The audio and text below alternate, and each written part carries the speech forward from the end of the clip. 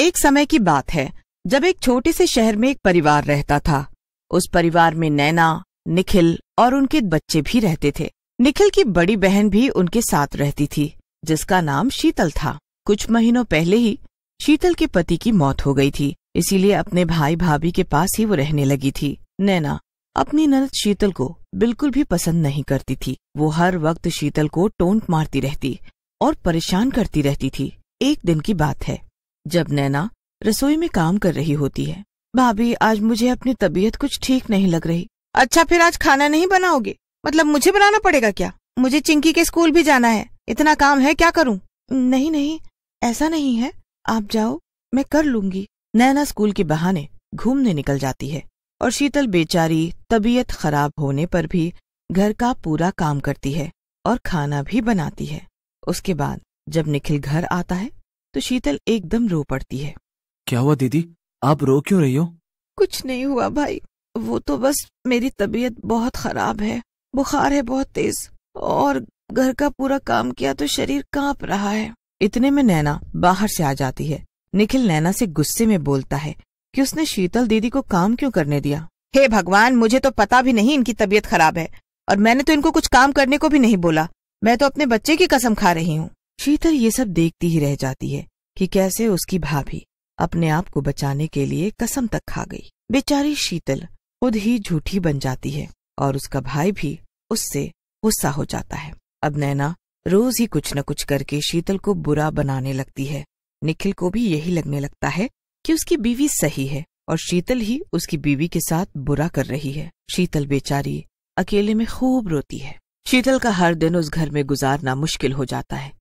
वो हर वक्त नौकरानी की तरह काम करती और फिर भी हमेशा सारी बुराई उसको ही मिलती है। एक दिन हमेशा की तरह शीतल घर के कामों में लगी होती है कि तभी निखिल बाहर से आता है। अरे अरे क्या हुआ? बड़ा खुश दिख रहे हो? अरे आज मुझे ऑफ़िस से शिमला का ट्रिप मिला है। हम सब शिमला जा रहे हैं। अरे वाह ये तो बड़ी खुशी की बात है। दीदी भी हमारे साथ जाएँगी। और नैना के तो जैसे तन बदन में आग लग जाती है। अगले दिन सब लोग जाने के लिए तैयार खड़े होते हैं। सब लोग साथ में शिमला के लिए निकल पड़ते हैं। पूरे रास्ते नैना का मुँह सड़ा रहता है। शीतल पूरे रास्ते चिंकी के साथ मस्ती करते हुए जाती है। ये सब देखकर निखिल बड़ा ही खुश होता है। पूरा दिन ड्राइव करने के बाद वो लोग शिमला पहुँच जाते हैं और वहाँ एक होटल में रुकते हैं। चलो आज तो रात काफ़ी हो गई है तो सब सो जाते हैं। कल सब घूमने के लिए निकल पड़ेंगे। सब लोग उस रात सो जाते हैं। निखिल और नैना एक कमरे में सोते हैं और दूसरे कमरे में शीतल और चिंकी सो जाते हैं। सब इतना थक चुके होते हैं कि गहरी नींद में सो जाते हैं, पर शीतल को नई जगह नींद नहीं आ रही होती। वो करवट बदलती रहती है। शीतल को वैसे ही नींद नहीं आ रही होती और फिर तभी उसे किसी के रोने की आवाज़ आती है। अरे, इतनी रात में ये किस औरत के रोने की आवाज़ आ रही है? शीतल उठकर जाकर देखती है तो वो खिड़की से झांकती है। होटल के बाहर पेड़ के नीचे एक औरत बैठी ठंड से ठिठुर रही होती है और रो रही होती है। हे भगवान, ये औरत इतनी ठंड में यहाँ क्या कर रही है? ऐसी बर्फ़ में तो ये मर जाएगी। शीतल जल्दी से कंबल उठाती है और नीचे जाती है। शीतल को कुछ अजीब सा महसूस होता है, पर वो आगे बढ़ती जाती है। जैसे ही वो उस औरत के पास पहुँचती है तो उस औरत के रोने की आवाज़ शीतल के कानों में चुभने लगती है। वो घबरा जाती है। आ, आ, आप कौन हो? यहाँ इतनी ठंड में क्यों बैठी हो? और ऐसे क्यों रो रही हो?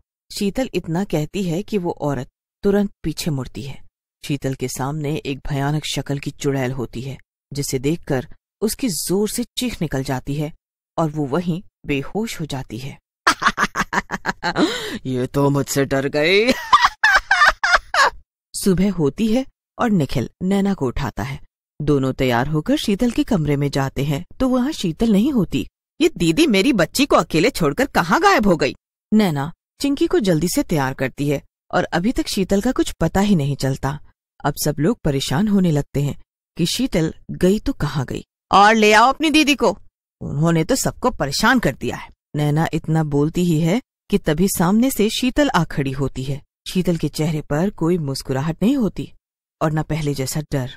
वो एक मूर्ति की तरह बस। कहाँ थी दीदी आप? हम कब से परेशान हो रहे हैं और आप बाहर से टहल कर आ रही हो? सच में आपने तो सबको दुखी ही कर दिया है। पता है मैं कितनी ठंड में थी ऐसी ठंड में बैठे हो कभी। अरे ये दीदी कैसी अजीब बात कर रही हैं और इनकी आवाज़ को क्या हुआ है? सब लोग घूमने के लिए निकल पड़ते हैं पर शीतल एक कोने में बैठी रहती है। वो न किसी से बात करती है और ना एंजॉय करती है। तीन दिन वो ऐसे ही निकाल देती है। उसके बाद सब अपने घर वापस आ जाते हैं। शिमला का ट्रिप था तो बड़ा मज़ेदार। हाँ सच में पर दीदी का समझ नहीं आया। जाते टाइम इतनी खुश थी पर अगले दिन से अजीब हो गई थी। वो तो हमेशा से ही अजीब लगती है। सब लोग उस दिन बड़े थक जाते हैं और आराम करते हैं। शीतल अकेली रसोई में खड़ी होती है। नैना जब पानी पीने रात को रसोई में जाती है तो ऐसे शीतल को वहाँ खड़े देखकर हैरान होती है। दीदी दीदी आ, आप यहाँ क्यों खड़े हो? नैना की बात पर शीतल कोई जवाब नहीं देती। इससे नैना को उन पर गुस्सा आ जाता है। नैना गुस्से में शीतल का हाथ पकड़ती है। हाथ पकड़ते ही नैना की हालत खराब हो जाती है। शीतल का हाथ बर्फ़ की तरह ठंडा होता है। एकदम ठंडा। उसके बाद शीतल जैसे ही नैना को मुड़कर देखती है तो नैना की हालत खराब हो जाती है। शीतल एक चुड़ैल के रूप में नैना के सामने खड़ी होती है। चुड़ैल! आजा, पकड़ मेरा हाथ। मेरा हाथ पकड़ेगी अब तू। आजा पकड़ना। चुड़ैल नैना का हाथ पकड़ लेती है और नैना ठंड से कांपने लगती है।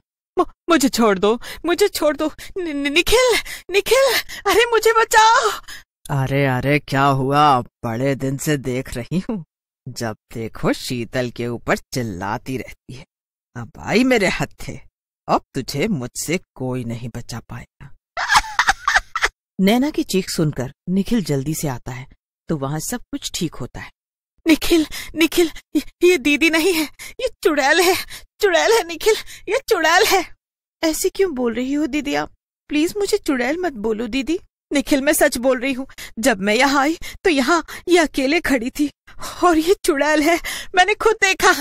मैं तो पानी लेने आई थी, देखो मेरी पानी की बोतल। तुम इसका हाथ पकड़ कर देखो, बिल्कुल बर्फ़ है, बर्फ़। शीतल खुद ही निखिल का हाथ पकड़ लेती है। क्या सच में मेरा हाथ बर्फ़ है? निखिल नैना को साथ लेकर जाता है। जाते जाते एक बार नैना पीछे मुड़कर देखती है तो शीतल अजीब तरह से मुस्कुराती है। नैना तो शीतल की मुस्कुराहट से ही घबरा जाती है।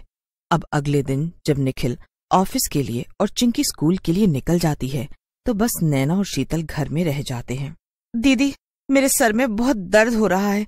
मैं आराम कर रही हूँ। आप जरा घर का काम निपटा लो। तेरी नौकर बैठी हूँ मैं। तेरा काम मैं करूँगी अब। ये कैसे बोल रही हो? क्या पहली बार काम कर रही हो मेरा? पता है ना? मुझसे पंगा लिया तो क्या होगा? ये भाई बहन का सारा प्यार खत्म कर दूँगी। शीतल अचानक चुड़ैल में बदल जाती है और ज़ोर से नैना का हाथ पकड़कर अपनी तरफ़ खींचती है। लगता है कल रात की बात भूल गई तू। मुझसे पंगा लेगी ना तो बर्फ़ की तरह जमा दूँगी। समझे?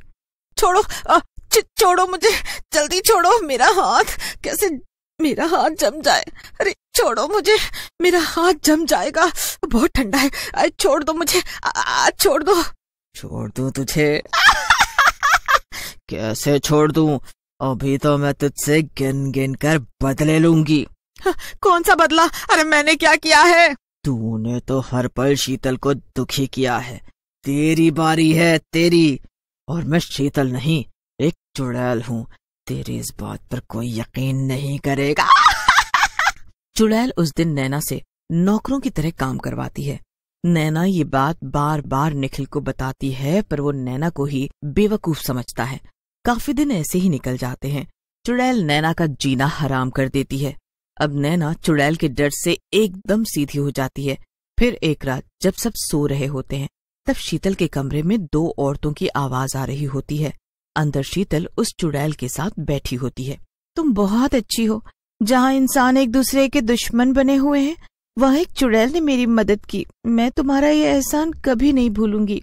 एहसान तो तुमने भी मुझ पर किया था उस रात जब मैं ठंड से तड़प रही थी, और तुम मेरे लिए कंबल लाई। अब मैं जा रही हूँ, और तुम आराम से यहाँ रहना। और हाँ कभी भी मेरी ज़रूरत हो तो बस एक आवाज़ दे देना। उस रात चुड़ैल वहाँ से चली जाती है और शीतल के शरीर में कभी प्रवेश नहीं करती। नैना भी कभी शीतल को दुखी नहीं करती और सब ठीक हो जाता।